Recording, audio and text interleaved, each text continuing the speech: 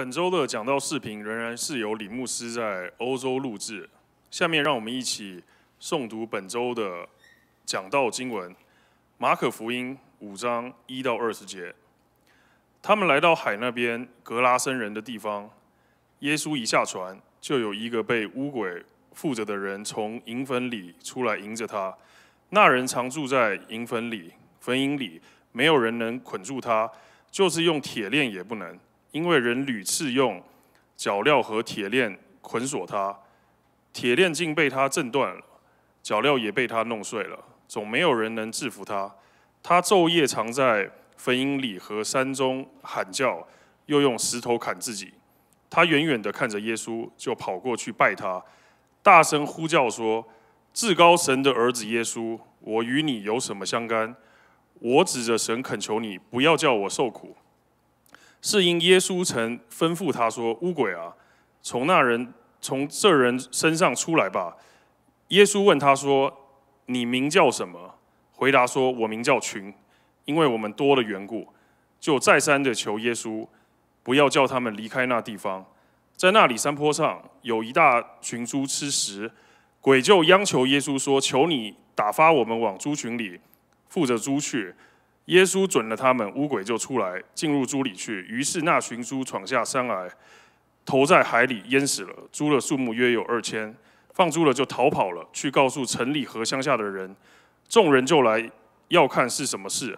他们来到耶稣那里，看见那被鬼附的人，就是从前被群鬼所附的，坐着穿上衣服，心里明白过来，他们就害怕。看见这事的。便将鬼附之人所遇见的和那群猪的事都告诉了众人，众人就央求耶稣离开他们的境界。耶稣上船的时候，那从前被鬼附着的人恳求和耶稣同在，耶稣不许，却对他说：“你回家去，到你的亲属那里，将主为你所做的事何等大的事，是怎样怜悯你，都告诉他们。”那人就走了，在迪加波利。传扬耶稣为他做了何等大的事，众人就都稀奇。下面把时间交给李牧师。弟兄姐妹，主日平安！我们感谢上帝再次让我们有机会透过 WiFi 把世界各地的弟兄姐妹跟北京的弟兄姐妹连接在一起。我们这个礼拜天，我们继续会查考。马可福音第二十二集，也就是著名的那个格拉森的鬼的这样一个故事。透过这个故事，我们希望看到上帝到底在这个主日希望我们领受的是什么。那我记得大概差不多十五到二十年前，当时我还在哥德堡的呃约翰内贝尔牧区担任国际学生的牧师的时候，我每个啊礼拜天讲完道，或者说我平时在办公室里面做完工作离开办公室的时候，我们下面有个斜坡。我经过那个斜坡，对面就是那个著名的 Charles 呃工学院，在那个斜坡上，我有时候就会看到一只非常可爱的小猪。这个小猪当时只有这么大，也就是我们说烤乳猪那种乳猪那么大的小的那个猪。然后呢，呃，经过两三年，这个猪就后来就越长越大，越长越大。这个猪它是颠覆了我完全对于猪过去的认识。我们通常认为猪是非常懒的。猪是非常脏的啊，猪是非常令人讨厌的。但是你知道，这只小猪它是跟着它的一个女学生，乔莫斯大学的那个女学生，好像是它的一个宠物猪一样的。它从那么小到那么一点一点长大，我看到它是一个非常可爱的猪。我让我看到这个猪呢，又是非常的要干净，而且这个猪还有一个非常可爱的名字，叫 Sora。啊，那我们很多的学生、很多同学走过那个地方的时候，都会那跟那个猪打交道。它的那个呃主人叫什么名字，已经没有人记得。但是经过十五二十年，我们还清楚记得这只可爱的猪是叫 Sora。当这只猪出现的时候，你很难想象那个传统的猪在我们心目中的这个地位。那我们中国人传统其实有的时候对猪的评价也是很正面的。我记得我参加过一个香港传道人的婚礼。这个传道人的啊师母，她结婚的时候，这个胸前就戴了一个一个金珠啊，一个牌是个金珠，然后后面下面又有很多小猪在吃奶，是个金的东西啊。我想可能意思就是说啊，透过这么一个图片来表示啊，祝福这个多子多孙的这样的一个感觉啊。那今天我们透过刚刚读的这段圣经，会看到一个完全不同的，跟我们刚刚描述的那可爱的猪的形象是完全不同的另外一个猪的形象。而这个猪就是在格拉森那里所出现的一个猪群。而这段经文，也就是借着我们上一期所讲到耶稣啊平静加利利海的风格浪之后，他们成功了渡过了海，到了格拉森的这个境界。在那个地区，耶稣展开了一系列的神迹的布道的呃那个信息。那在这个地方，格拉森那个地名，实际上是在马太福音跟啊马可福音是有不同的。那个地方到底是在哪里呢？是在呃迪亚波利。迪亚波利这个地方是整个那个地区，迪亚是十，polis 是那个呃希腊文的城市。其实，在那整个一带有差不多十多个城市，有十个城市，格拉森是其中的一个城市。那么，在马太福音当中呢，你会看到也有记载，这个地方在马太第八章被称为叫加大纳。到底是格拉森还是加大纳，我们已经无从考察。但是有一点肯定，就是耶稣渡过海之后，就在。蒂亚波利那个地区开始神迹布道，而这次的神迹布道也是非常的成功。那么，在今天我们一同查考马可福音第五章的一到二十节当中，我相信耶稣要透过这段信息来启示一个非常重要、伟大的主题，就是他是胜过那个邪恶势力的主。第一点，第一点，事件的起始。是在第一节到第五节，你在这里看到这样的记叙：他们来到了海边，格拉森那个地方。耶稣一下船，就有一个被巫鬼附着的人从坟茔里出来迎着他。那人常住在坟茔里，没有人能够捆住他，就是用铁链也不能，因为人屡次用铁链、脚链和铁链捆锁他，铁链竟被他挣断了，脚镣也被他弄碎了，总没有人能制服他。他昼夜藏在坟茔里，在和山中喊叫，又用石头砍自己。你在这里看到这个事件的起始。耶稣来到格拉森，就碰到一个人，而这个人是被鬼附的，而且他是住在坟茔里面。坟茔就是指那个坟墓，一群都是坟墓。而且在古代的那希伯来那个地方，如果你去过加利利那一带，你会看到很多坟。坟场是在一个山洞里面，这个山洞被凿出来之后，那里面就是放了棺材，而那个地区集中了很多的这种棺材跟坟墓的时候，那个地区就叫坟茔。而当时在犹太人的传统观念当中，那个坟茔常常是有鬼怪出没的，而坟茔是不洁净的地方，而且坟茔是那些非常污秽的人。居住出没的地方，而那些地方的人出没，他也常常是被鬼附着的。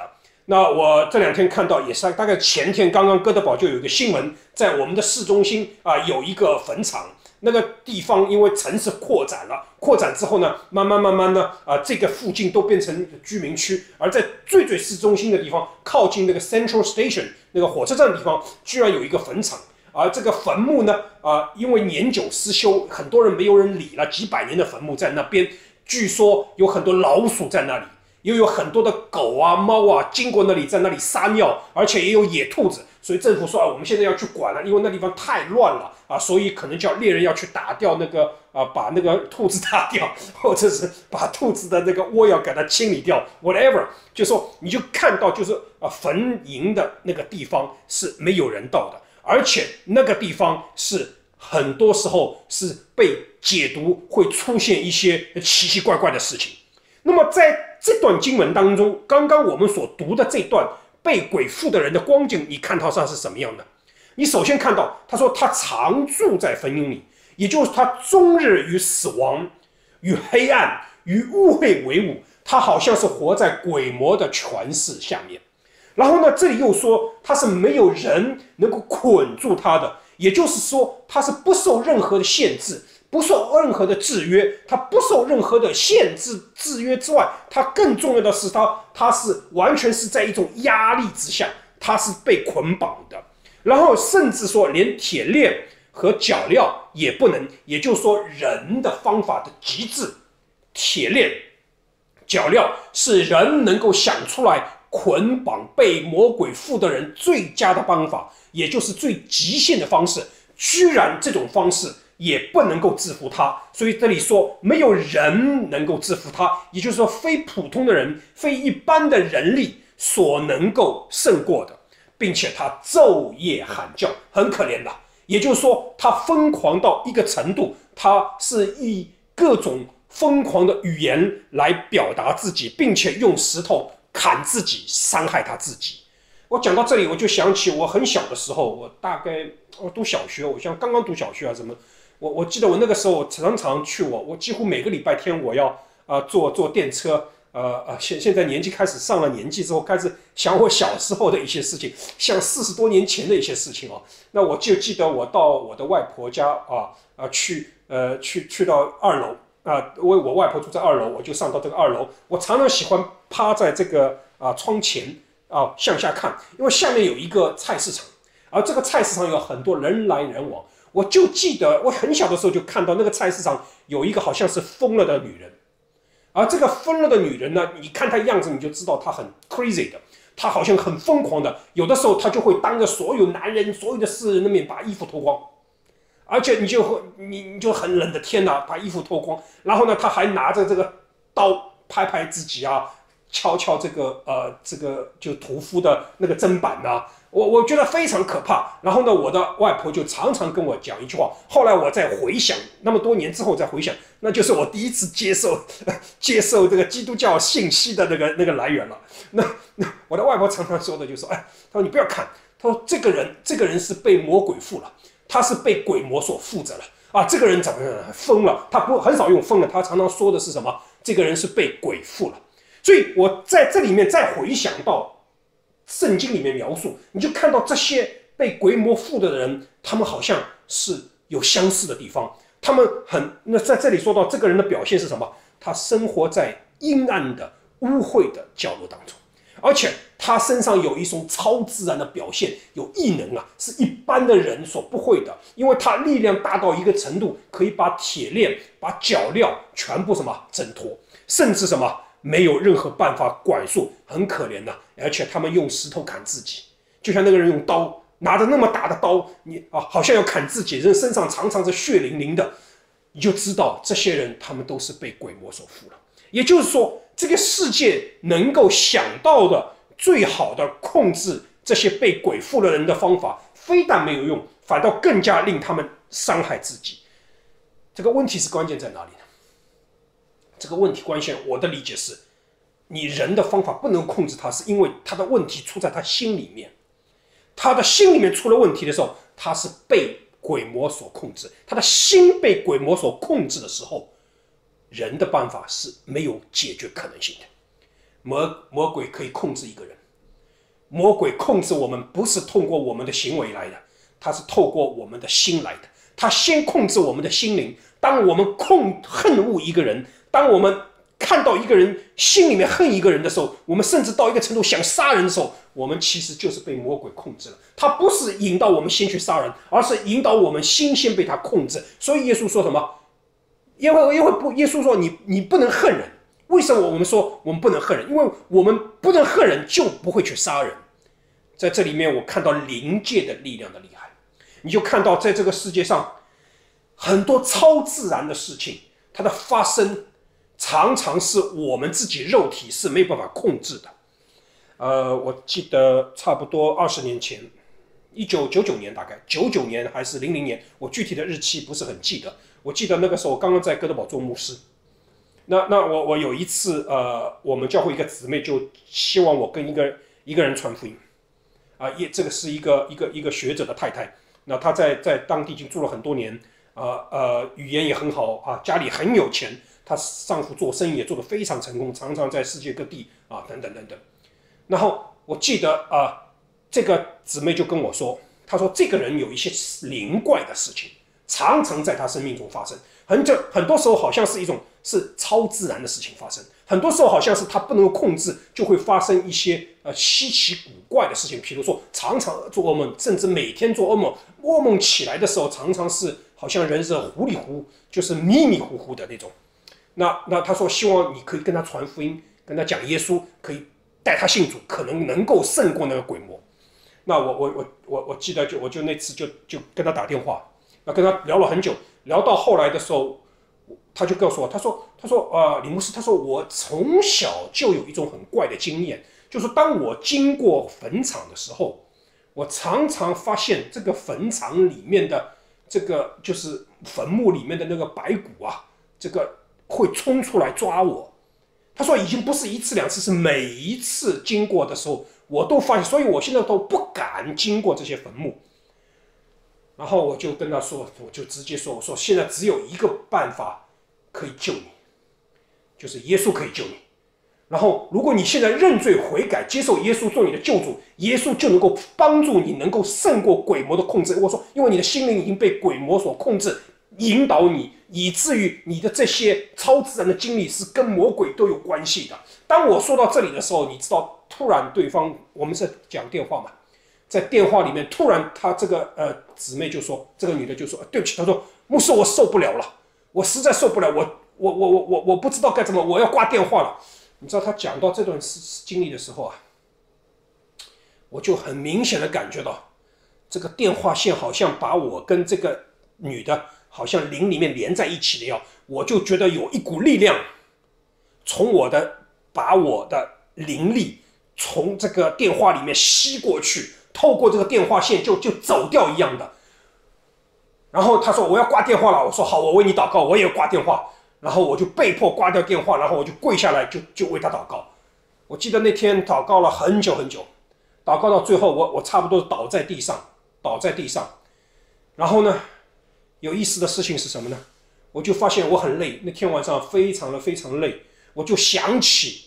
我想起圣经里面其实是下个礼拜天我们要讲的，再下个礼拜天我们要讲到，就耶稣医治那个血肉病的女人，大家还记得那个事情啊？就耶稣当这个女人去摸这个耶稣的衣服的身体的时候，衣服的时候，耶稣觉得有力量从他身身身里面身体里面经过出去。我告诉你这些事情，我过去当时是没有经历过的。耶稣这段讲的那个马可福音第五章所讲到的血肉病的这些经历，我从来没有经历过。但是在那次事件的时候。我就深深感觉到，原来圣经的技术是继续是那么的那么的真切。我想弟兄姐妹，你们也认识我，不是一年两年，我们都有十几年的认识的经历啊。你也知道，我也不是神叨叨的人，对不对？我也不是老是哎呀做怪梦啊，哎呀鬼啊神啊什么，我也从来不是这样，对不对？我也是非常理性的一个人，对不对？我也是很认真的 study，对不对？要讲圣经，对不对？但是你，你告诉你这些有一些事情，在圣经里面继续的事情，我自己是亲身经历到。我告诉你，那绝对不是一般的感觉，那种力量，那种灵里面的力量被吸走的那个感觉，我好像当时感觉整个的精力要枯干似的，我以至于我被迫挂掉电话。当我挂掉电话的时候，好像那个吸走我的力量就被断，就被砍断似的。那我就在我的理解当中，这个女性，这个姊妹，后来她信了主了。就当时，当她要接受耶稣基督做她个人救主的时候，我正在电话里要跟她做那个绝志祷告的时候，那个魔鬼的势力就彰显出来。那个魔鬼跟耶稣的之间的这个属灵的征战，就在我跟他的这两个人的生命当中，透过这个电话线发生了。透过这个电话线，我告诉你，完全是一种超自然的现象，甚至可以把它解释成是那个电话线就好像电流一样的。圣灵跟邪灵这种碰撞、这种交锋，就像电流一样的打起来了，就像这个天空上的闪电。所以，亲爱的弟兄姐妹，我想很多时候你可能有一些啊属灵特别的灵异方面的经验。我我不想说这是迷信，我也不想说你是在胡言乱语。我想告诉你的是，有可能的，而且在圣经当中，你也会继续到有一些事情是真的发生的。你看到这个人的事情。你看到这个世人的方法没有办法帮助这个人挣脱魔鬼的势力，是因为什么？圣经讲得很清楚，这个世人都握在了那个恶者的手下，凭人的方法，我们根本没有办法胜过。今天我们不是每天其实都在面对属灵的征战吗？只是有的时候你不意识到，有的时候你的一个决定其实背后是有一个属灵的征战。今天甚至我们看到这个世界的光景。看到这个 global pandemic 这个全世界的这个流行病，在我看到的是说，上帝跟魔鬼在这个事情当中也在征战，因为上帝要透过这个 global pandemic pandemic 这个这个这个全球性的流行的这个新冠肺炎这个疫情来警醒、来警告我们，让我们回转到上帝面前。但是魔鬼要利用这个事情来攻击上帝，来攻击上帝的国度，所以我们要迫切祷告，求主帮助我们。第二点，第二点。事件的冲突是第六节到第十三节，你会看到耶稣是鬼魔与鬼魔是正面的冲突了。在第六节这样说：他远远的看见耶稣，就跑过去拜他，大声呼叫说：“至高神的儿子耶稣，我与你有什么相干？我指着神恳求你，不要叫我受苦。是因耶稣曾吩咐他说：‘乌鬼啊，从这人身上出来吧。’耶稣问他说：‘你名叫什么？’回答说。”我名叫群，因为我们多的缘故，就再三的求耶稣，不要叫他们离开那地方。在那山坡上有一大群猪吃食，鬼就央求耶稣说：“求你打发我们往猪群里附着猪上去。”耶稣准了他们，乌鬼就出去进入猪群猪里面，于是那猪群狂下山崖，投在海里。淹死了猪的数目约有两千。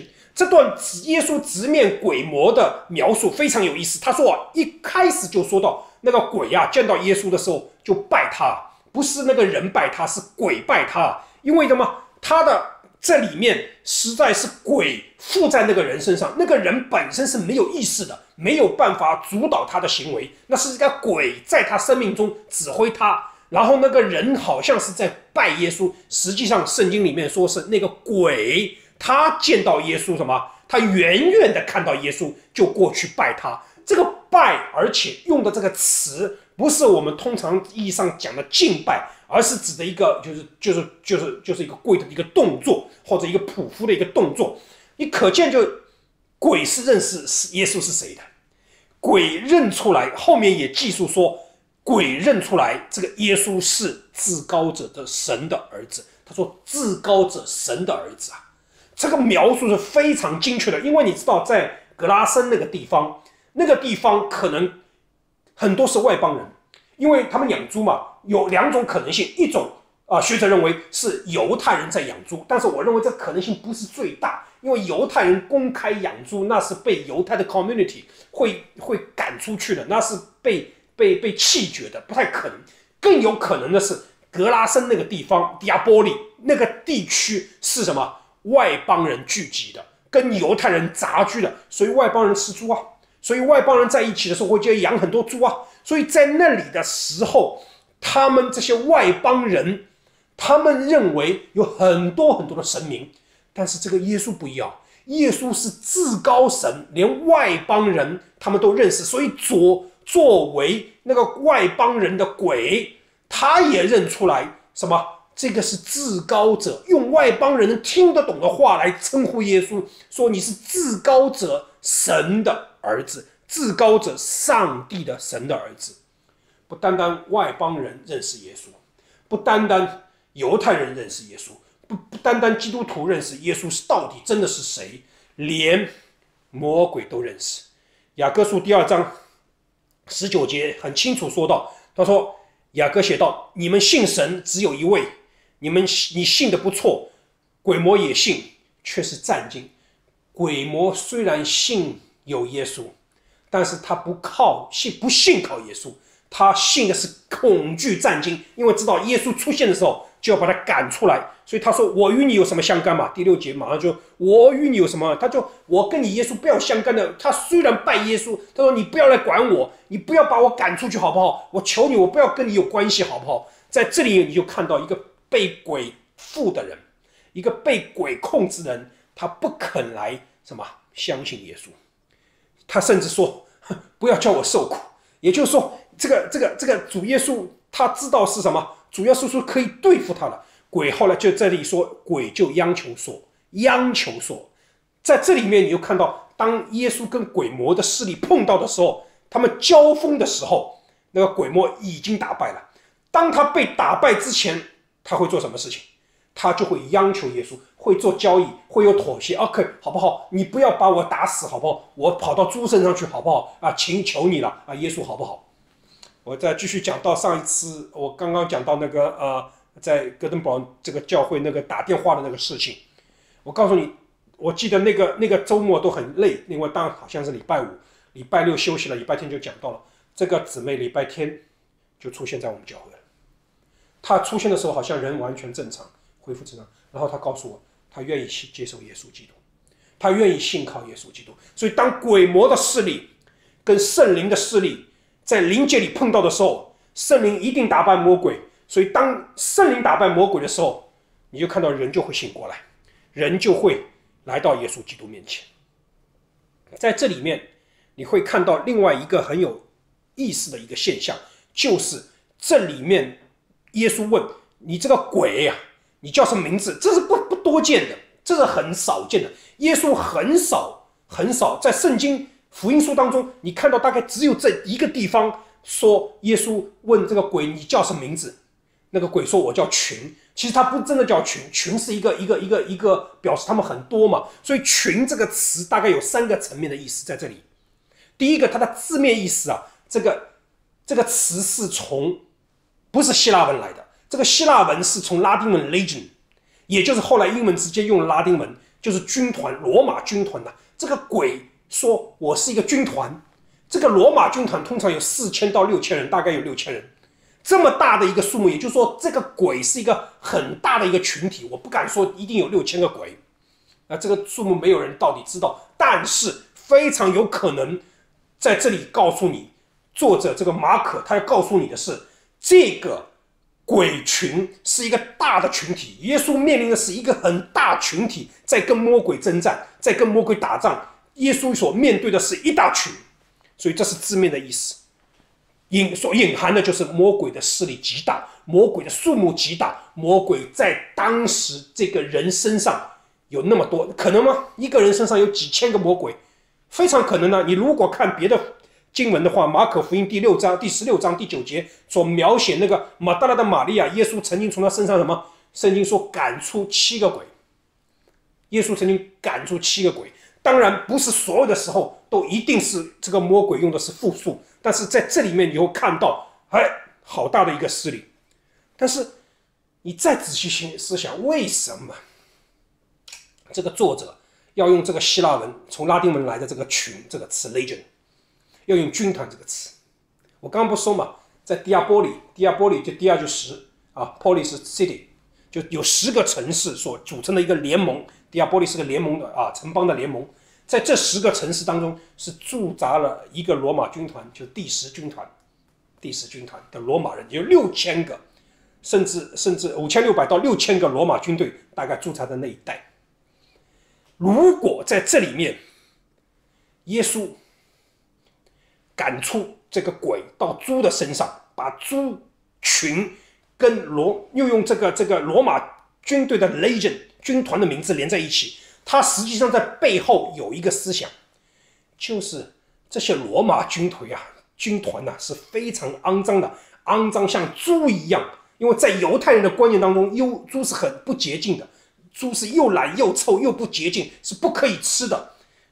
他们这些犹太人就看罗马的军团，罗马的这个势力，这个殖民的统治，在犹太殖民统治。就像猪一样，又脏，他们又懒，又要剥削这个犹太人，又要欺压他们，他们的殖民统治就像魔鬼一样，就像猪一样连在一起。那这种这种思想的表达，可能很多时候我被我们忽略掉了，因为我们我们很多时候我们把这个群只是简单的解释为是一个数目极大的一个一个一个魔鬼的势力，但是你不要忘记马可福音的写作，如果真如。一些学者所推测的，他是在公元六十六年到六十九年这段时间完成了罗马啊，完成了马可福音的话，你不要忘记，公元七十年，在整个犹太全地发生什么事情，就是罗马人跟犹太人的冲突，犹太人普遍的暴乱。而当耶稣出现的时候，他就是被认为是一个弥赛亚，而这个弥赛亚就是他们认为，犹太人认为就是他们所期盼的那个要带领犹太人。打败罗马军团，打败罗马殖民统治，在政治上、军事上、民生上、社会上的这么一个弥赛亚。所以你把这一切一点一点点点，把所有的这些都连在一起之后，你会看到，你会看到，当马可描述耶稣这跟这个魔鬼之间的对话，耶稣问他：“你叫什么名字？”那个魔鬼说：“我叫群。”也就是说。他们把罗马的殖民势力看成是魔鬼，而且，而且这个势力是很庞大的，他们是欺压在负债负债犹太民族身上的鬼，而耶稣来到这个世界，把这个魔鬼从这个人身上赶出去，就相当于他们期待有一种期待在里面，就耶稣要带领他们把罗罗马的势力赶出去。有这个思想在这个后面，所以在这个程度上，他们一定程度上把耶稣解读成为一个政治性的领袖，一个军事性的领袖。这个弥赛亚是个君王式的，这个君王是是地上的君王，不是天国的，不单单天国的。更重要的是，他们希望这样的一个耶稣在这个世界上能够帮助他们打败罗马人，而这个信息是我们一直以来所忽略掉的。所以你看看这个字面的意思，“群”这个字面的意思。跟这个隐含的意思，字面的意思军团，隐含的意思是魔鬼的数量极大，但是它还有一个促进的意意思，就是他把它跟罗马的势力连在一起。而当耶稣成功把他们赶出去，赶到这个猪的身上，并且这个猪冲下去，冲到这个水里面去的时候，你知道，我前两天刚刚跟 Simon 让他把这个《所罗门之约》这本这本这个。啊，这个旧约的伪经把它发发给我，我特别因为我知道曾经我读过这段，就是犹太人传统当中常常把鬼魔跟水连在一起，为什么呢？因为因为他们他们他们认为有些时候邪灵是怕水的，当然也有些其他的文献说啊，那个魔鬼就在水中了。我我我记得我我我记得这个，我前段时间在 Gustavus 我的乡下，我去我每天游泳了。当时啊已经很冷了，大概十几度的温度，但我我游得很很很很爽。但是我我常常在水里面游泳的时候，我就会怕，因为我读过这些文献的时候，我这 我太太也担担心我，她说不要让那个有这个水中的动物来来攻击你就好，你要小心，特别小心了啊！呃，你知道在那个一个一个旷野当中啊，在森林里面啊湖里面游泳，安静的不得了，就你一个人，然后天有的时候还下雨，还阴沉沉的时候，你会怕。你会突然你在游的时候，有的虽然游得很长，但你突然很怕后面有一个东西来攻击你，对不对？啊！但是我后来想，你是上帝的儿子，在你里面比这个世界更大，你里面是有圣灵的，你怕什么？你为什么会怕魔鬼？你不用怕，你想到这个的时候，哎，你就很稳，你就游泳啊！当然，我的长老也很担心我，呀，你小心啊，不要不要游泳，不要出事啊！当当然了，感谢上帝，现在还还还感谢上帝还活着啊！但是在这段经文当中，你看到。猪的确被犹太人看成是不洁净的，猪的确看成是是一种啊，是一种被常常被邪灵所困扰的一个一个动物，对不对？那为什么犹太人看猪是不洁净啊？因为圣经规定嘛。你看，如果看利未记第十一章第三、第四节，凡蹄分两半、倒绝的走兽，你们都可以吃，但那倒绝的或蹄中。题分题之中不可吃的乃是骆驼，因为倒绝不分题就与你们不洁净。然后到第七节到第八节又说，猪因为蹄分两半却不倒绝，就与你们不洁净。这些瘦的肉你们不可吃，死的你们不可摸，都与你们不洁净。就很清楚讲到，就是说，就是它的它的它是蹄分两半，两个叉的，对不对？然后呢，它又不倒绝，啊，这就是什么？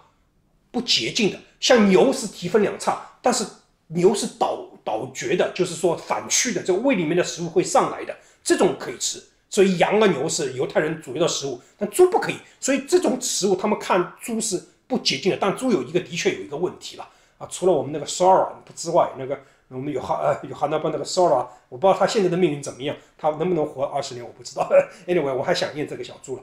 除它之外，其他猪我觉得他们吃东西的确很很杂。所以他们吃的东西很乱，所以猪身上有的时候会长肿瘤啊。所以人，你看羊不会长肿瘤的，羊跟牛很少长肿瘤的。所以犹太人只吃羊跟牛，你就看到，其实，在这些猪的身上，它是很容易被魔鬼攻击的。就让我想到这次的 pandemic，这次的这个新冠的疫情，你知道这个新冠疫情对我们的攻击就像魔鬼一样，但是你知道魔鬼攻击人、攻击猪，他就是说他不可以凭空做事的，它必须有个宿主，有个宿主，它必须记在这个宿主身上，它才会发生功效，也就是它必须在人，病毒必须接近到人，它如果到了自然界，他在一定温度上很快就会死掉。所以病毒它必须到人的身上，所以如果你不讲卫生，如果你不洗手，你不把自己弄干净，不常常洗澡，我告诉你，你很容易得这个新冠病炎。这为什么我们说到什么？就是人比较老年人有的时候也比较容易得新冠，因为什么弱？因为年纪大了，身体很弱，所以容易被这个新冠病毒攻击，对不对？好，为什么呢？就像你一样的，如果你灵性比较弱，你比较不常常接近主，不洗澡。不把自己弄干净，不不亲近神，不祷告，不求求问神，不去寻求神的话语对你的光照。我告诉你，你信了主，你还是容易被被魔鬼搅扰啊！你常常会容易被魔鬼攻击到啊！然后呢，你就会看到，哎，我们就看到，哎，中招。所以年纪大的人得新冠病、新冠肺炎的这个几率比普通的年轻人。高出五千倍，因为什么？年纪大，抵抗力弱，所以抵抗力越是弱的时候，我越是要通过很多方法，然后让我更加什么干净。我要洗澡、洗手、把洗刷牙，我要那个凡事要有消酒精消消消毒。我感谢上帝，我们我母亲他们从小给我养成了这个很好的习惯，所以先每天最少洗两次澡，对不对？把自己要弄干净。所以在这里面你就看到，如果这样，你的抵抗力。你属灵的抵抗力就上来，而你是属灵的抵抗力上来的时候，你就比较容易啊抵御魔鬼攻击。有些弟兄姐妹常常说我睡觉会被魔鬼攻击，我说我觉得有时候我们也要反省一下，是否我们有什么问题？有些时候是因为你真的服侍主，你越服侍主的时候越容易受攻击，那是真的。但是有的时候你也会想，你在先天里面是否在哪些地方是有一些神不喜悦的东西啊，是容易被魔鬼攻击到的？也求主帮助你，带领你，让你看到你需要在哪些地方你没有悔改的，你需要在主面前悔改。因为你当你的心里面有个空洞的时候，有个漏洞的时候，魔鬼就容易攻击你。而这个属灵的空洞跟漏洞，常常成为魔鬼攻击你的一个宿主。求主帮助我们。好，第三部分这个事件的后果，我们看第十四到十七节，放猪的就跑逃跑了，去告诉乡里。城里乡下的人，众人就来要看是什么事。他们来到耶稣那里，看见那被鬼附的人，就是从前被群鬼所附着的，坐着穿上衣服，心里明白过来，他们就害怕。看见这事的，便将鬼附之人所遭遇的、所遇见的和那群猪的事告都告诉了众人。众人就央求耶稣离开他们的境界。这段经文就是，其实在把那个鬼附的人那个人。跟那个没有被鬼附的那个那个众人做了一个明显的对比。那个被鬼附的人，他得到了释放，他恢复了正常。那个鬼在他身上就失去了视力，因为什么？他说坐着，穿上衣服，心里明白过来，就这个人完全正常了。他本来是整天的喊叫，到处是铁链要捆着他，都挣脱。但是他现在是正常的坐在那里，并且呢，穿上了衣服，而且是。心里明白过来，什么叫心里明白过来？他的心已经不在魔鬼权势的控制之下，但是众人呢？但是众人却受了魔鬼的诱惑，要耶稣离开他们。看到那些看起来正常的人，看起来好像不是被鬼附的人，实际上在他们的身上，魔鬼得了势力。因为什么？圣经说，众人就央求耶稣离开他们的境界。当我读到这段圣经，我是想了很多次，我就想，为什么众人会央求耶稣离开他们的境界？为什么不正常啊？耶稣来到他们中间，把他们中间的魔鬼赶出去，把这个洁净、把污秽的都洁净了，他们居然央求耶稣离开他们的？是为什么？就有几种不同的解释了。第一个，就过去也就传统，常常很多传道人都会这样解，他说这是因为人性的贪婪。因为他们看物质的利益，看猪的价值是远远多过人的生命，所以他们就耶稣，你走吧，我们养猪现在猪都跳到水里面都死掉了，我们的损失很大，两千头猪啊，是多少人的那个养生之道啊！你今天把我们的猪赶到水里面去了之后，我们的经济损失怎么办呢？所以他们认为，耶稣之所以被要求离开那个境界，是因为经济利益。我记得何长老曾经跟我讲过一个故事，蛮有意思的。他说：“哎，这个这个这个呃呃，他改革开放，他一就是七九年还是八零年。”那第一次啊，他从美国还是香港跑到他的老家广东去的时候，哎，他听到第一篇讲到，他说那个牧师就讲格拉森的鬼，就讲这个魔鬼就跑到猪的身上，然后猪跳到悬崖下面，到海里面都死掉了。哎，他说那个牧师说那个因为耶稣这个破坏了经济改革开放，所以那个 被被赶走了，那是很搞笑的一个事情了。Anyway，就说，但是这里面的一个问题，我希望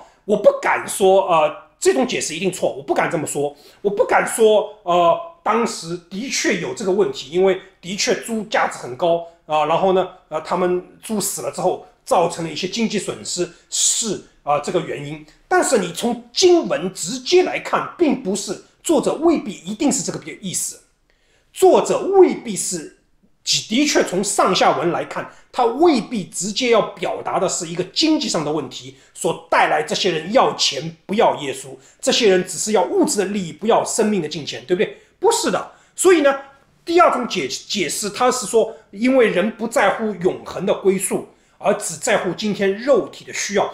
他们看肉体的需要，养猪嘛，是满足他们肉体需要，比永恒的归宿，因为灵魂得救嘛。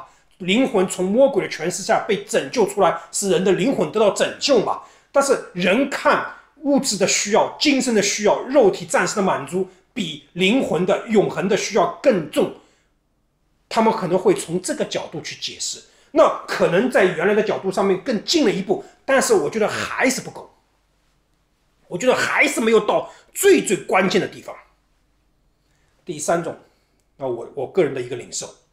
也是这段经文，我认为是非常重要的地方，非常重要的地方，就是人看耶稣的存在，众人，所以你们不要看众人，不要看群众，啊，人多，我们多少万人的聚会，我们多少，哎呀，中国有多少基督徒，你不要看众人，不要看众人，因为人看耶稣的存存在，当他们看耶稣的存在成为他们生活的阻拦的时候，我告诉你，人选择。要魔鬼，不要耶稣，什么意思？什么意思？在这里面，你说这里面鬼附到猪的身上，猪又死掉，好像是表面所带来的是一个物质利益的问题。我告诉你，实际上是在显示的，在当地这些人的观念当中，在他们的价值观当中，在他们的生活方式上面，他们已经习惯了，非常习惯了。在魔鬼的控制下，所以这个人在坟茔里面让他叫好了，没关系，他不会影响我们的生活。他那个铁链绑住他没关系，他挣脱好了，让他去。但是我告诉你，告诉你，在鬼魔控制的这个人，在鬼魔控制的这个人之外的整个的这个地区、这个世界、这个环境、这个社会当中。鬼与人同在已经成为他们的生活的一部分了，亲爱的弟兄姐妹。鬼已经很习惯的跟人在一起，人也很习惯的有鬼在他们生命当中，而这才是可怕的地方，而这才是非常非常可怕的地方。所以，当我读到那个鬼央求耶稣：“哎，你赶快走啊，你不要来”的时候，你知道我想到谁？我就想到那个 Brother of Karamazov。就是那个托斯托耶夫斯基写的那个最著名的、影响世界的那本《卡拉马佐夫的弟兄》那本书里面，当耶稣来到真的来到这个世界上，他第二次再来到这个世界上的来的时候，那个宗教裁判所的那个、那个、那个、那个、那个、那个、那个、那个头头，那个、那个、那个、那个大祭司，他跟耶稣说，他央求耶稣说：“是我认错你是谁了，你是耶稣，但是我求你不要来呀。”你来干什么？因为今天我们教会没有耶稣，我们玩的很好啊，我们玩的很赚呐，我们很很很很舒服啊。你耶稣，你来干嘛？你来了之后，我们这帮人都要重新要悔改啊。我们现在建立的所有的这些系统，你看我们现在罗马天主教，我们也允许可以同性恋啊，我们也让他们那个刚刚那个那个那个 我们那个 Pope Francis 耶稣会的人要很小心，怎么样啊？我告诉你，情愿跟随那个本丢派，不要跟随耶稣派。那个那个那个耶稣会的人，在在在罗马天主教里面，历来耶稣会的人比较比较那个的啊。哎，我宁愿我们的系统玩得很好，我们经济上也没问题啊，我们梵蒂冈银行也很挣钱呐。啊，我们教会的奉献也很够啊。我们平时弟兄姐妹啊，我们我没有耶稣的时候，我们很安全呐。我们每个礼拜天有正常的在敬拜呀，啊，这这个这个宗教生活。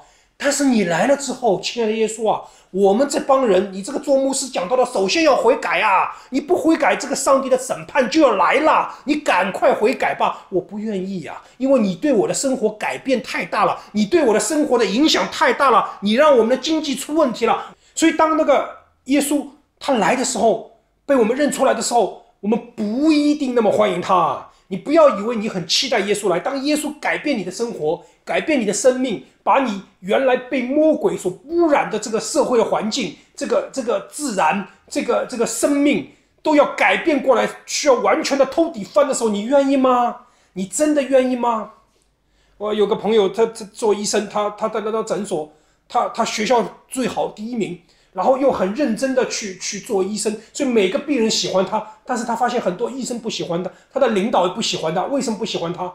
因为他在那里的出现，使每一个人觉得他们自己实际上是这样的一个状况，所以他们都希望他离开，都都希望排挤他，最好他不要在。今天很多时候啊，我们的状况其实就是这样，当我们。以为我们在跟随耶稣的时候，只有当我们的根本的利益跟耶稣的利益冲撞的时候，你看，你才能看到自己的本相是什么样。